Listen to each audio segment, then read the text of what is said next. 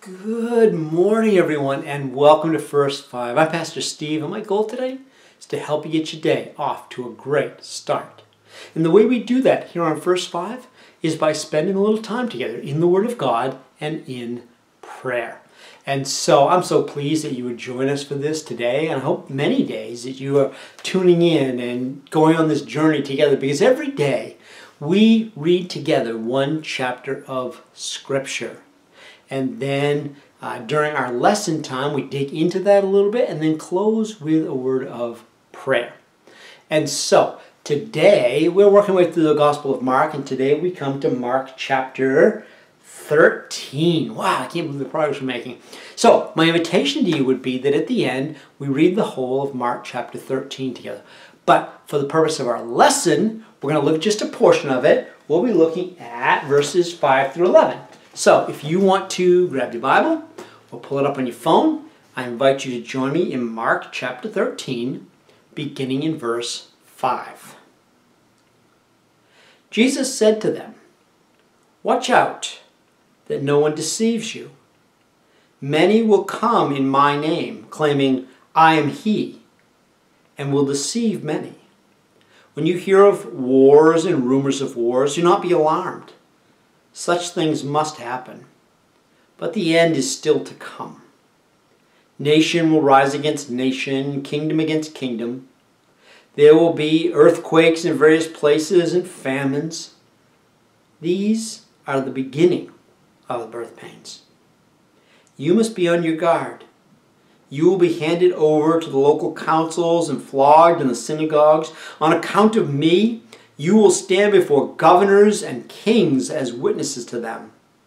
And the gospel must first be preached to all nations. Whenever you are arrested and brought to trial, do not worry beforehand about what to say.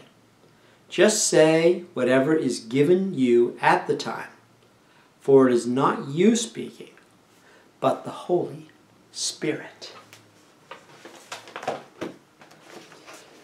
Most of chapter 13 is what we would call apocalyptic.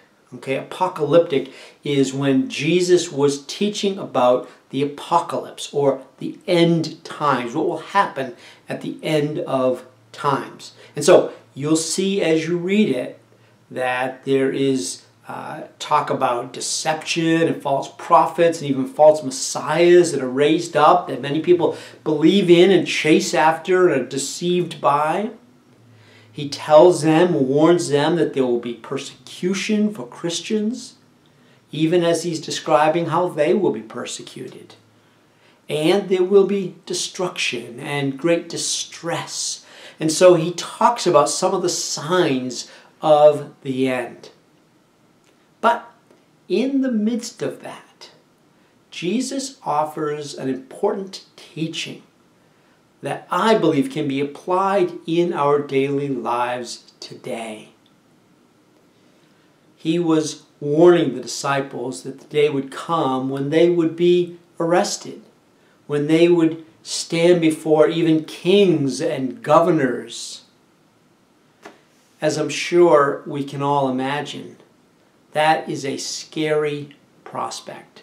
The idea of being arrested and coming before such a high court and, and standing there. In fact, in many ways, it's scary at a couple of different levels. First, of course, there is the concern for their own safety. Right? When, when they stand trial before a court, when any of us stands trial before any court, there is the fear that this may very well lead to punishment and imprisonment, Jesus' trial led to his very death. But what Jesus is describing actually is not just any court. It's not any magistrate or judge. Jesus is telling them that the day will come when they stand trial before some of the most powerful and influential people of their day rulers from the Roman Empire, kings and governors. So there is the added concern of speaking under such intimidating conditions. I'm sure you can imagine when you come to stand before a governor or a, a king, even enter into that court, there's, there's just all this uh, impressive pomp and circumstance and, and all that that just is so intimidating in the moment.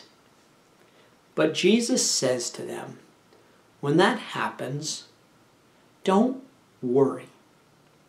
When it is time to speak, it won't be you speaking, it will be the Holy Spirit.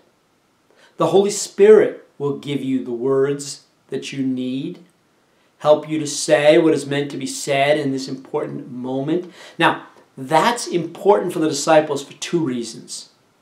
First, the Spirit will be with them, interceding on their behalf in their trial, right? Hoping, helping them get through that as best they can, right? But more than that, the Spirit will also help them witness in that high court.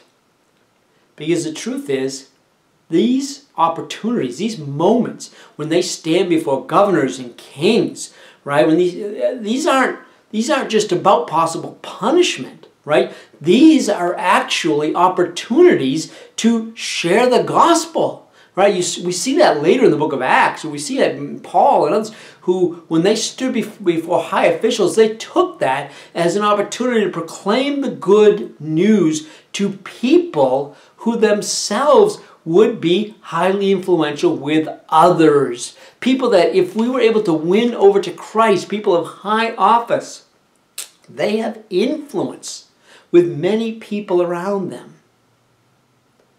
I believe this same underlying principle can be applied to our own lives. Not that we're necessarily going to stand before kings and governors, but there are going to be times when we have the opportunity to share Christ probably, almost certainly, with people who will later have the opportunity to share that with others.